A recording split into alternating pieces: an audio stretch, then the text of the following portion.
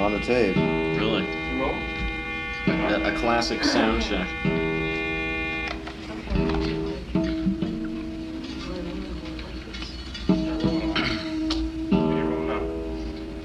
I'm tempted to start asking him all the questions now.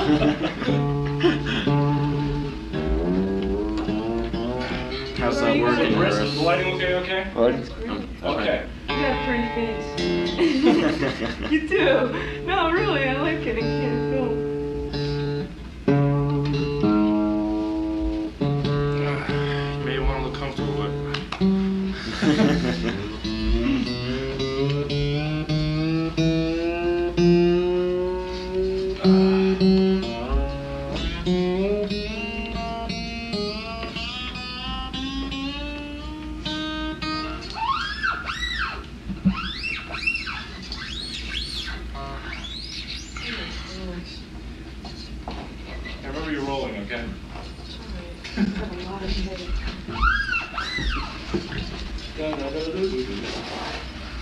Oh.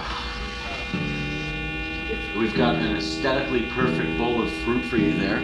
Oh, great. yes, we, The we went shopping yesterday for you. We had a hospitality time. crew has Yeah, definitely been hot. going We're all out. We do. We do it up the best we can from what budget we have. you know what you mean. Switched from audio to visual.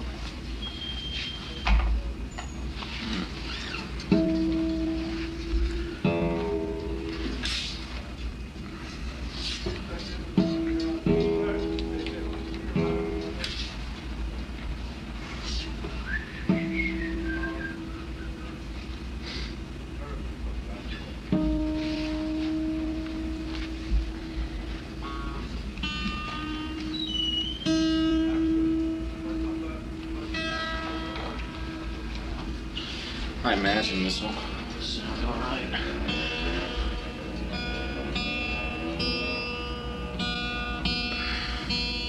You can talk anytime you want to. Okay. Are you ready, Maris? Yeah, I'm rolling. Okay. Well, my name is Mark Steinberg, and this Pleased to meet you, Mark. afternoon we are having a conversation with Jorma Kaukonen. And to start it off, I'd like to ask you uh, some questions about the tour you are currently undertaking. You've been Shoot. touring for quite a few months. You mentioned six months. Well, I haven't been touring for all this time. I've been away from home. I, I toured for uh, five weeks in the fall.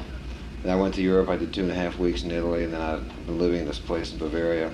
I came back for Christmas, did two and a half, three weeks, and I went back, and I've been out for uh, four or five weeks now. I got two to go.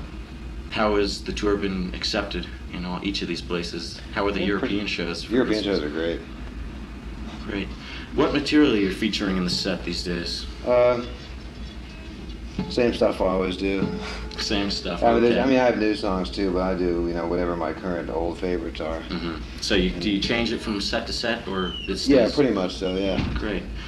Uh, the practice of touring has become expensive and almost uh, an archaic practice at that point for most of the electric bands around these days. Did this contribute to the demise of the Vital Parts band? No, uh, I just wasn't really into what was going on. I didn't get along real well with the other guys in the band. We had a lot of different goals and stuff, which was pretty much what that was all about. I should actually point out, though, that even this, though this guitar has a wooden top and a round hole, it is not really an acoustic guitar.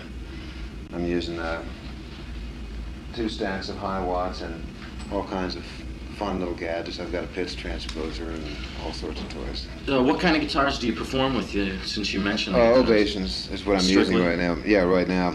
Uh, I just bought a couple of guitars in uh, in Kingston, New York, which I'm going to be using probably the next time I come out, which are solid body guitars. Viet Citron is doing some really innovative stuff. I got a baritone guitar, which is a, a fifth below this. It's kind of halfway between a six-string bass and a guitar. It sounds unbelievable. Big, fat, orchestral sound. And uh, it's easier to process the sound. So if everything works out right, I'll probably be getting away from using these things. But who knows, you know. I noticed you've been changing your strings here. How often do you change your strings? I change them every every two sets. You do. Yeah. Uh, have you ever wanted the guitar designed and named after you? Uh, no, not really, because Yeah, I guess it would be great if it worked out. But I'd love to have a Gibson guitar designed and named after me. I'm sort of traditional in that respect. Other than that, as long as I can get a good guitar, that's all that really matters. Okay. Uh, songs recorded with Hot Tuna, such as Hesitation Blues and the Whining Boy Blues, were last recorded in the 40s, as far as I know. Were you exposed to this music as a child, or was it an acquired taste? Uh, I got into it. Uh, well, I, when I when I first started listening to guitar music, I just listened to whatever was, was available in Washington D.C., which was mostly uh, it was sort of rhythm and bluesy because that's the way Washington is. But uh, when I got interested in, the guitar, I really kind of liked the fingerstyle idea, and I, I went to see a Pete Seeger show once, and he was playing a finger picking at 12 string. I couldn't believe it. Oh God, it's unbelievable. So. I started getting interested in it that way, and I, I wound up going to uh, Antioch College. There was a bunch of guitar players there, and that's where I really sort of got exposed to. The blues. Yeah, right. Well, I got exposed to the blues in Washington D.C., but it was mostly like Muddy Waters and and uh, Bo Diddley, Howlin' Wolf, the sort of the the electric Chicago stuff that was coming out at the time. But Antioch was where I started hearing like fingerstyle guitar players. I liked In the, a lot. Mm. in the old days, uh, 60s specifically, when uh, the airplane were around and uh, you were living in San Francisco, Correct. uh, there was this incestuous relationship between the bands, you know, CSNY and the Dead.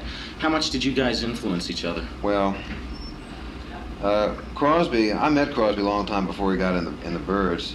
He they moved into by the time they moved into San Francisco, I think that the incestuous relationships were over. From the from the early days, everybody was playing coffee houses, uh, so everybody just knew everybody. It was a small community. It's not a real big area. The Bay Area, everybody played the same gigs all the time. You just knew everybody. I think that everybody pretty much had their own specialties, you know, areas of ex- expertise. Like Jerry was was pretty much he, he was a real accomplished string musician, but he what he was doing most of the time was like bluegrass, jug band stuff, things like that. Pigpen, uh, who played harmonica in, in all the earlier uh, incarnations and uh, later with the Dead before he died, was real was a really accomplished blues guitar player. Although I never heard him play that with the Dead. I saw him do a couple solo shows. He was fantastic. It would have been unbelievable. You've been quoted as saying that you don't live in the past at all, like a lot of people do. Does this reflect uh, your antagonism towards the people who like to uh, stick with your days in the airplane and such? No, not really. It's just a it's just a fact of life. Yeah. I can agree with that, I guess. Uh, Hot Tuna's performances came off sounding very full for what was essentially a three-piece band. Did you Right. ever use open tuning? Yeah, sure. For for the songs I do open tunings in, like uh, I'm not really an open tuning guitar player, although I do a couple songs in open tunings, like Water Song, Police Dog Blues, uh, Hot Jelly Roll Blues, a couple new songs that I've written. So I use I used to do maybe four or five at any given time, maybe four or five different songs in, in tunings. Most of the time, I just use straight tunings. But I like to drop the six string to down a lot. Uh, in the gamut of technology that's been spawning from the 60s to the 80s, is there any, hopefully c- c- continuing as uh, you gestured there, is there any one gadget that you're particularly grateful for? Well, you, I, I noticed that I kind of tire of gadgets. I, I love electronic gadgets. I was, I was playing down in Baltimore the other night, and there's a, a bunch of guitar players were down there, and some were, were really offended by a lot of the stuff that I'm doing. I'm telling, hey, you know, I play acoustic guitar in my living room. You know, uh, when you're playing on stage, I think that uh, you lose you lose a lot of impact by limiting yourself to just playing acoustic guitar. Although I'm not putting down straight acoustic guitar players. And I just really like to play around with technology. Like I just I just got this new thing. It's a pitch transposer, which is a harmonizer. But the MXR thing has four different channels, so you can pre-program all these different intervals with your thing. And it's just a lot of fun to play with. It's it's no substitute for knowing how to play the instrument for Mm, sure, but right. it keeps you from getting bored. Okay, well, with the recent onslaught of 60s material that's been covered by new artists, uh, the San Francisco or California bands seem to have been significantly passed over. Do you see any reason for this? Well, probably because the these popular San Francisco bands of the period made it more in person than they did on on record. This is my opinion anyway. It had to do with the performance, and the interaction of the musicians, and stuff like that. And the songs that that other bands seem to be liking to cover are more like pop music of the era. I don't really classify the San Francisco bands as pop bands, even though a lot of the records did real well. Uh, there was more to more to the music than than just the songs per se. I think the performances tended to stand out more than the compositions. Okay, you mentioned the fact that uh, you weren't into quote unquote what the vital parts were doing, and there was some tension between yourselves. Uh, given the limited acceptance with the White Gland band and the mixed reviews that were given vital parts, it would seem that the new wave has been dominated by British musicians, while the American bands have been passed over.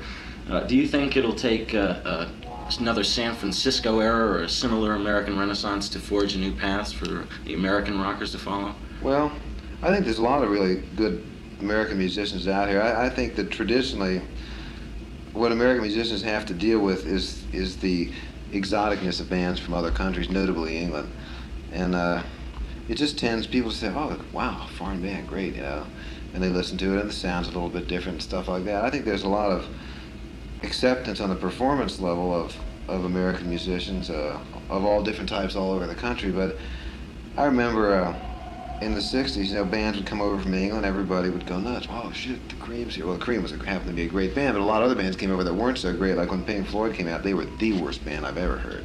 Now, they metamorphosed into something, you know, much more sophisticated later, but when they, they were horrible when they first came out. You know? Did you but, see them when they first came oh, out? Oh, shit, of course. You know, every, a new band would come and you go out and you, I mean, you had to, you know.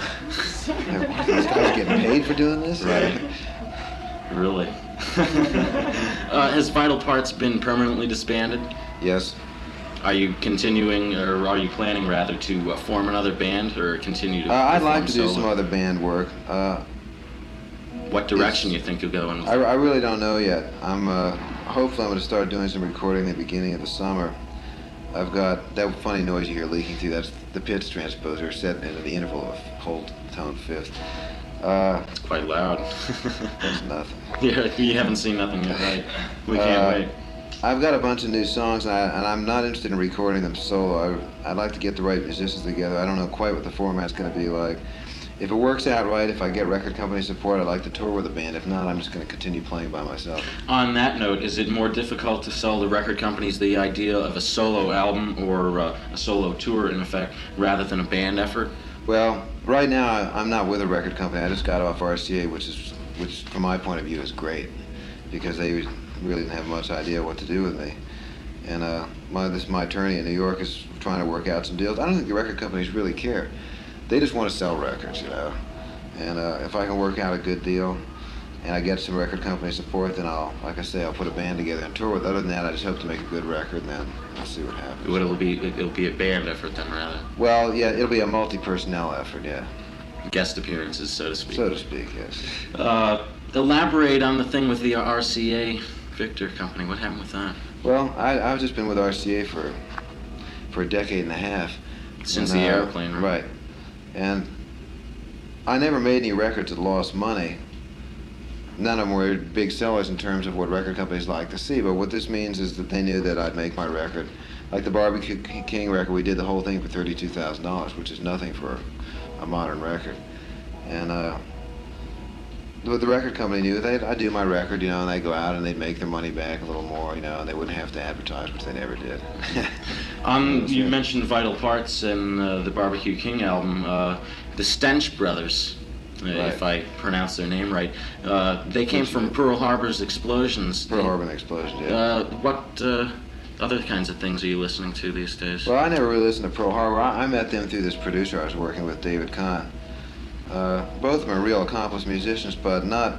I was never really satisfied with that album, even though this it's a craftsman-like album, but uh, it's not a real soulful album for me. I don't even do any songs off it except for Roads and Roads. Mm-hmm. It just didn't touched my heart, yeah. but uh, I've been. Uh, Doesn't feel like starting over again, huh? No. uh, I've been listening to a bunch of German bands. Actually, there's a there's this German singer Nina Hagen. I don't know if you're mm-hmm, familiar with her. She's in LA now. The band that used to work with her, Spliff, is has their own record label in Berlin, and they've made a, a bunch of albums. And these guys are fantastic. It does, their music doesn't have too much to do with what they did with her. The guys are really incredible players, and they're real soulful and they their music has a lot of depth, which I like. There's some uh, some other young German bands, like this band called the Marionettes out of out of Munich, that does real new wave-ish kind of stuff. Although I, I hesitate to just limit them to that because they can really play anything. You know? I just like to listen to guys who can play good. That's really what gets me on. This one will kill you. Do you still associate with Jack Casady? No. Okay. Or any of the other members of the airplane? No. Haven't. How's Papa John? I run into him occasionally. He's doing great. Good. Still working. Hanging in there. huh? Yep, sure is. Have you ever done any video recordings? No. Do you have any interest in it? Yeah. You're doing one right now, as a matter of I'd fact. love to do one. I'm gonna talk to you later. Yeah, I, I don't know much about it. I mean, I'm open to suggestions. You know, I Oh, think okay, I think there's good. more to video work than just taping concerts. You know. so- oh, obviously. Yeah. In terms of promotion. Sure. Or in terms of the the media itself. hmm You've been playing with major groups since the mid 60s. What has it been like performing before an audience for all these years? I love it. I love performing. You gonna continue? Yep. Till you drop or what? Probably. Hopefully. as long Uh, as you will not see me doing Miller Beer commercials. I can guarantee you. Fantastic. Come on, guys. It's Miller time. Do you have any long-term goals, or have they already been reached? Uh, yeah, I have some long, long-term goals. I, I'd like to continue what I'm doing. There's other things I like to do too. I, I'm a pretty good photographic technician. I'm interested in that. I'm, I I'm also- to. Uh, I'm looking to buy a farm. I'm moving out east this year. I was thinking about upstate New York, although now I'm thinking about Maryland. I'm from down there anyway. I kind of like the area, and uh, I just want to be able to continue what I'm doing and. I consider myself real lucky because I've been able to do basically exactly what I like to do for a long time, and I hope to be able to continue to do that. You mentioned the uh, darkroom hobby, photography. Uh, do you have any other things uh, that you're interested in outside Yeah. of music? Uh, I like to build hot rods. I'm selling a 55 Chevy right now if you know somebody wants to buy one. And uh, I, uh, I shoot competitively when I have time, although I haven't had time for the last year to do that. Bench gun, stuff like that. I, shit, I'm even in the NRA. Do you still live in California, or Yeah, I own a house there, but I hope to be getting rid of it this year. and you're gonna move to New York? Well, either New York or Maryland, somewhere in the East Coast. Doesn't really matter. Everything's so close, you know. Well, at this point, I am just about out of questions. Uh, if there's anything that you'd like to uh, tell an audience at this point, otherwise, I'd just like to say that it's been an incredibly uh, comfortable situation talking with you. And you've got to fill us in on the continuing saga of your extensive tattoo collection. Uh, I haven't gotten anything new in four or five years. Would you mind giving us a look? We got the video thing here. I hate to. No, I don't do stuff like You that on don't? And, and the reason is I'm not, it has nothing to do with being embarrassing. Like that. It's very difficult to really reproduce tattoos with any media, and it just really takes a lot of time and the right kind of lights and this Mhm. and that and the other sort of thing to do it right. But uh, if you ever get a chance to talk to Ed Hardy, he's the guy that did did my back. He's a he's a real artist. He was an artist before he was a tattooist. And he's uh, he's the guy to talk to, and I'm sure he'd be happy to just show you tons of stuff. He's got great video work and film clips and stuff that's that's real impressive. Okay, Jorma Kaukonen, thank you very much.